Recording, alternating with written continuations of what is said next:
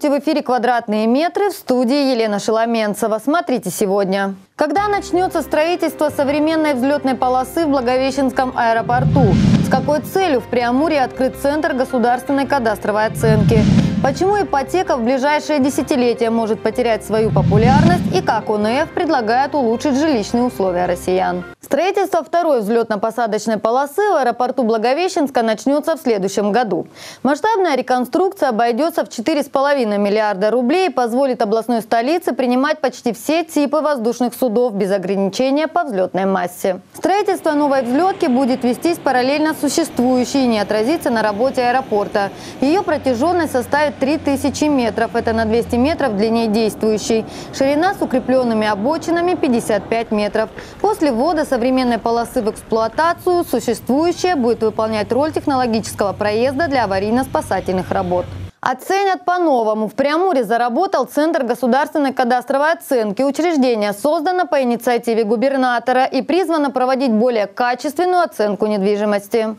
Сейчас, согласно данным Министерства имущественных отношений региона, 89% от общего количества объектов с назначением для осуществления предпринимательской деятельности могут быть посчитаны некорректно, так как имеют неполные характеристики. Также 65% зданий, используемых для ведения бизнеса, не привязаны к земельным участкам. Открытие нового центра даст возможность проводить оценку более качественно, оперативно решать возникающие вопросы и сделает проведение процедур прозрачными. Хочу обратить внимание, что кадастровая оценка по в таком формате еще не проводилась. Авторы методики изменили подход к процедуре оценки, значительно расширили количество применяемых при расчете стоимости ценообразующих факторов, определили однозначно необходимый к установлению набор количественных и качественных факторов в отношении объектов недвижимости. В ОНФ придумали, как улучшить жилищные условия россиян. Активисты Общероссийского народного фронта выступили с предложением внедрить систему господдержки граждан на основе индивидуальных накоплений. Это сделает покупку жилья более доступной. Авторы инициативы предлагают поощрять участников программы премии за обязательные ежемесячные взносы в накопительный фонд. Согласно разработанной общественниками схеме, в течение 3-6 лет необходимо регулярно перечислять деньги на банковский вклад под 1-2% годовых. Размер взноса должен быть не ниже 3000 рублей. В качестве ответного поощрения из регионального бюджета участникам программы будут каждый месяц выплачивать премию в размере 30% от суммы ежемесячного взноса. Снять Снятие денег или досрочное закрытие вклада приведут к исключению из программы. Для тех же, кто выдержит все условия, предусмотрено снижение ипотечной ставки до 6-7% годовых. В ближайшее время это предложение направят в Минстрой. К 2027 году ипотека станет менее популярной. Количество жилищных кредитов сократится более чем на 17%.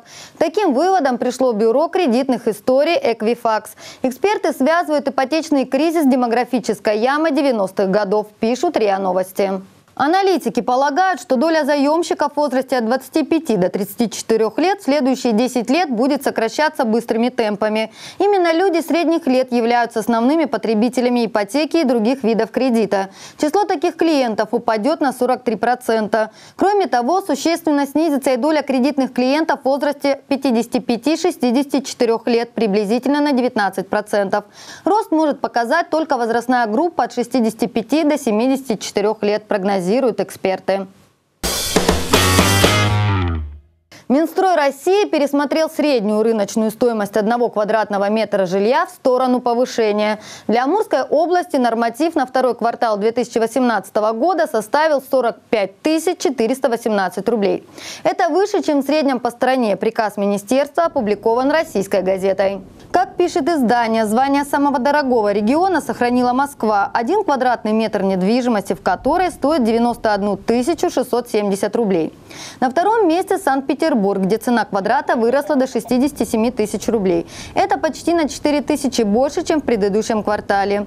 Также в тройку лидеров с самыми высокими ценами вошла Сахалинская область со стоимостью квадратного метра 62 951 рубль. Здесь цена подросла на 3,5 тысячи. Самые низкие официальные цены на жилье установлены в Адыгее, Кабардино-Балкарии и Калмыкии – менее 28,5 тысяч рублей. Напомню, средняя рыночная стоимость квадрата жилья применяется для расчета размера социальной выплаты гражданам, которым субсидии на приобретение жилья предоставляются за счет средств федерального бюджета. Установленные Минстроем цены отличаются от реальных рыночных. До 2% за три месяца в Преамуре выросли цены на квартиры. Рост отмечается как на первичном, так и на вторичном рынках. По данным Амурстата, средняя цена квадратного метра в новостройках по сравнению с предыдущим кварталом выросла на 1,1% и превысила 53 тысячи рублей. Вторичное жилье подорожало менее чем на 1%. Средняя цена за квадрат составила 51 254 рубля. Фонд капремонта ответит на вопросы амурчан в режиме онлайн. Ведомство создает сетевую образовательную площадку для собственников помещений в многоквартирных домах. Дистанционные семинары будут проходить в прямом эфире в социальной сети «Одноклассники». В дискуссии приглашаются и представители управляющих компаний.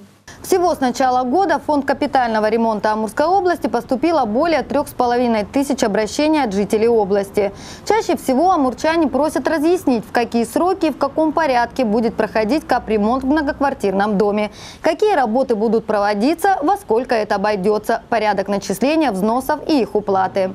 Учитывая актуальность и востребованность информации, ведомство приняло решение проводить консультации в интернете. Основная тема будущих занятий – организация и проведения капитального ремонта общего имущества в многоквартирном доме. В частности, порядок и способы формирования региональной программы, виды работ, входящих в капитальный ремонт, порядок их проведения и другие. Семинары будут проводиться один раз в месяц в прямом эфире. Маленьким амурчанам предлагают нарисовать дом будущего. Конкурс рисунков стартует 15 мая. В нем могут принять участие дети в возрасте от 8 до 14 лет. Конкурс проводится в честь пятилетия образования фонда капремонта в Преамурье. Работы принимаются до 15 июля по адресу город Благовещенск, Амурская, 85, третий этаж. Рисунки должны быть оформлены на бумаге без рамок и дополнительных украшений. Техника исполнения может быть любой, кроме мелков и угля. Приветствуется сопровождающая надпись, раскрывающая идею рисунка. Результаты конкурса озвучат не позднее 30 июля. Победители получат ценные призы и подарки. Неординарные решения в интерьере. Топ самых необычных квартир в мире опубликовал сайт интересных фактов Billion News. Собственников данных апартаментов не смутили ни ограниченное пространство, ни неудобная форма комнат. Они смогли сделать свое маленькое жилище максимально привлекательным и комфортным. Открывает список «Стеклянная спальня в Италии». Оборудована в центре небольшой вытянутой квартиры. Крошечное помещение отделяют стеклянные перегородки. В центре на невысоком деревянном пьедестале стоит кровать. Скрыться от посторонних глаз позволяют вертикальные жалюзи, предусмотренные на прозрачных стенах. Эта необычная комната расположена в бывшем полицейском управлении Нью-Йорка. Старое административное здание около 30 лет назад было отдано под жилье. Сейчас в нем 55 роскошных апартаментов. Самой оригинальной по праву считается круглая комната, расположенная под куполом строения. Встроенная спальня в парижской винтажной квартире выглядит не менее оригинально. Французские дизайнеры превратили малогабаритное холостяцкое жилище в современную квартиру со встроенной спальней. Благодаря полым ступеням, ведущим к ложу, здесь добавилось место для хранения различных домашних мелочей. Ящик для сна оборудовал иранский дизайнер в своей московской квартире. Мужчина приобрел небольшую квартиру-студию в столице России для себя и своей супруги. Чтобы сделать жилье максимально просторным и светлым, был спроектирован ящик для сна, расположенный под потолком. Свободное пространство оборудовали для хранения вещей. Эта квартира – еще один пример того, как можно максимально использовать пространство. Благодаря мультифункциональной конструкции, разработанной в калифорнийской дизайнерской студии, в крошечных апартаментах есть спальня, столовая, кабинет, место для гостей и даже вместительный шкаф. На этом у меня все. Пересмотреть программу можно в социальных сетях, на страничке Амурского областного. Я же с вами на этом прощаюсь. До встречи в эфире.